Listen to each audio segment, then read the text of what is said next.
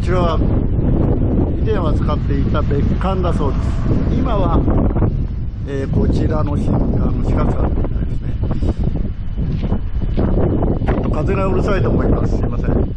風がありますのでうるさいですね。皆さんこんにちは。今日は沼津市の戸田戸田海岸に来ています、えーここは常盤屋さん。今日の宿常盤屋さんですね。今日はそんな動画です。よろしくお願いします。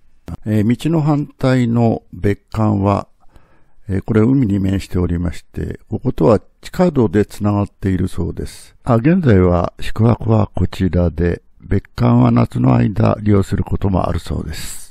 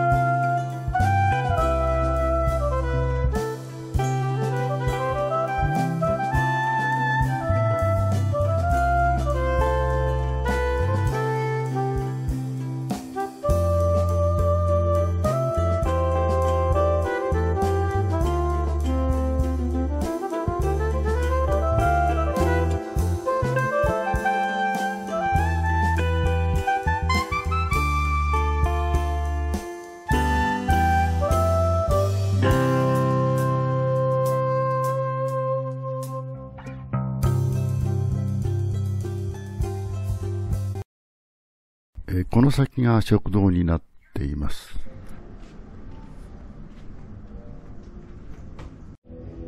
え随分古い時計ですね。成功者って書いてあります。明治、えー初めの創業ということですから、部屋の数もたくさんあるようです。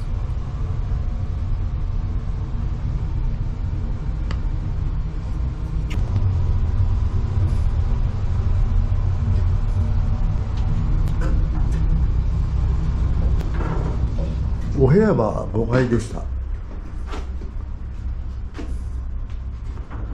この上が展望風呂ですね。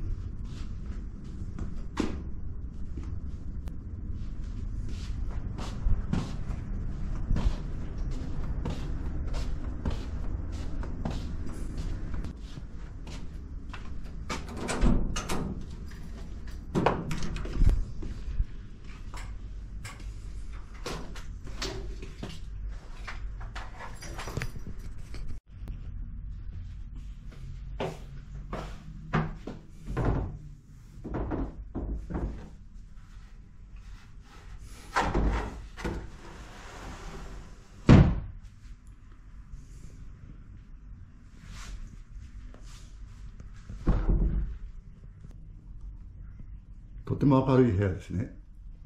えー畳は10畳ほどですが、なかなか凝った作りになっています。重厚な感じですね。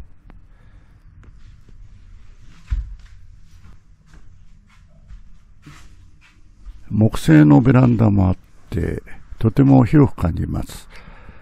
本当に海が一望です。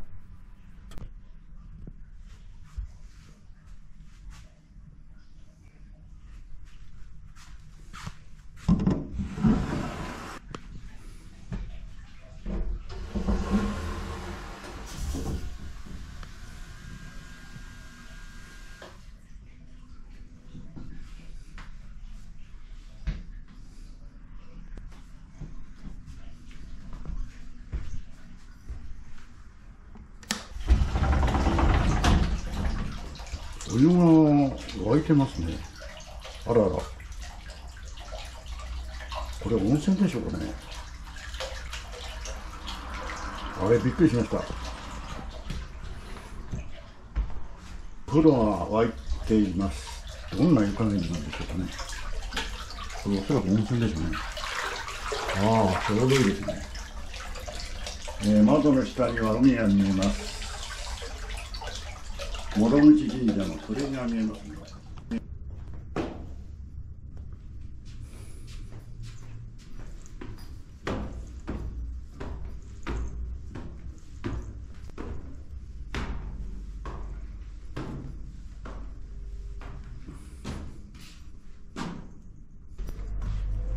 温泉は6階です、えー家族風呂。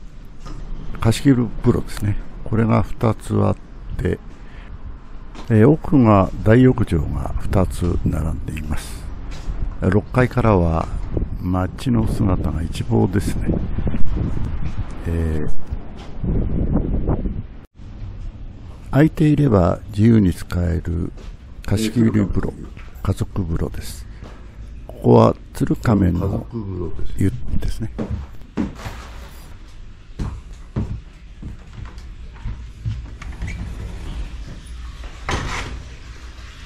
あここも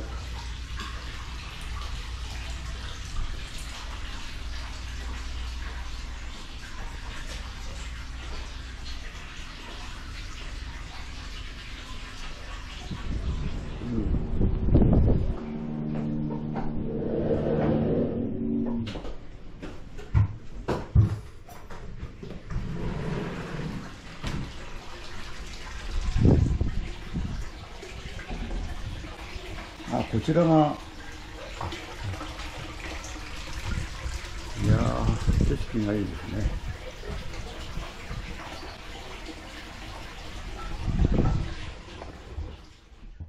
えその他のお風呂は撮影できませんでしたので、えホームページで借用しておりますけれども、えこの大浴場はホームページをはるかに超える大きさでした。え湯加減もちょうどよくって長湯をしてしまいました。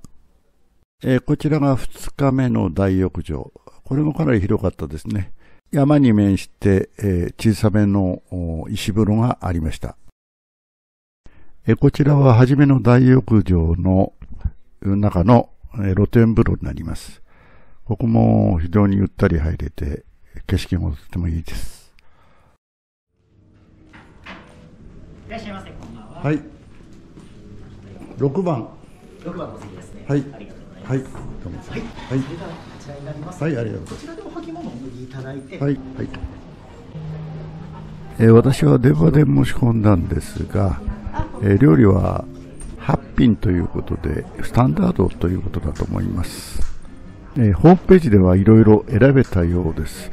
えーちょっと次回はぜひ船盛りを頼みたいと思います。エビのですね、あの駿河湾の深海でですね、取られました本エビとなっております。何エビ？本エビです。ああ本エビ。はい、で、エビ。ビのですね、あのこちらの上に乗せていただいて、表面に焼いていたああだいて、お召し上がりくださはいはいはいで、皮を剥かずに頭から尻尾まで皮ごと食べられああ、ます。なるほど。そうなの？で、味の方ですね、ついておりませんので、こちらヘラの焼き状ですね、ご用意しております。ありがとうございます。こちらのですね、あの海鮮鍋となっております。はいこちら多分あ大体30海鮮鍋分ぐらいかかりますが、お先に火をつけしあます。つけてもらうあ、つけてもらってしよう。かしこまりました。失礼し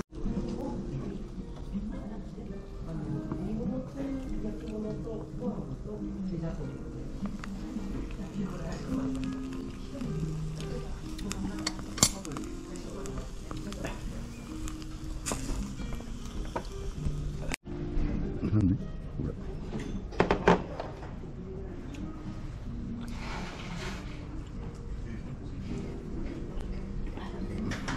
海鮮鍋ができました。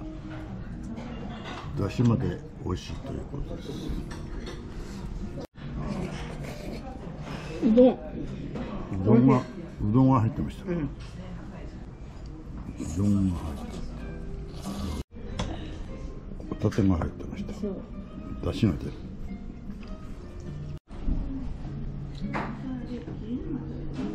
金目鯛が来ました。煮てあるんですかこれ焼いてある焼き。焼いてある金目です。うんこれでまたお酒も追加しなきゃいけませんかね。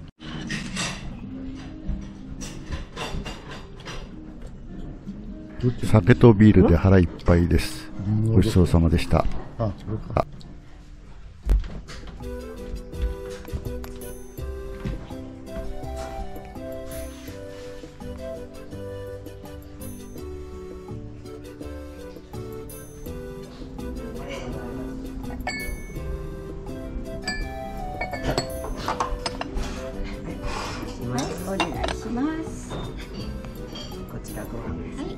これね、色つけてあげて。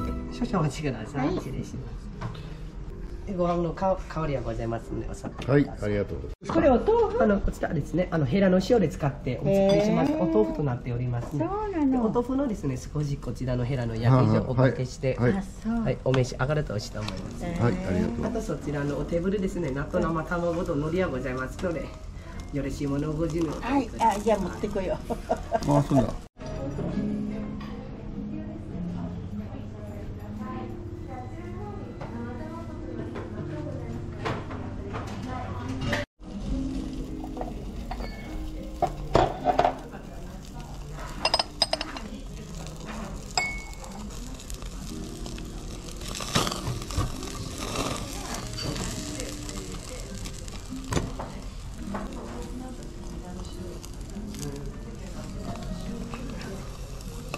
お疲れ様でしたはいじゃあお預かりいたします、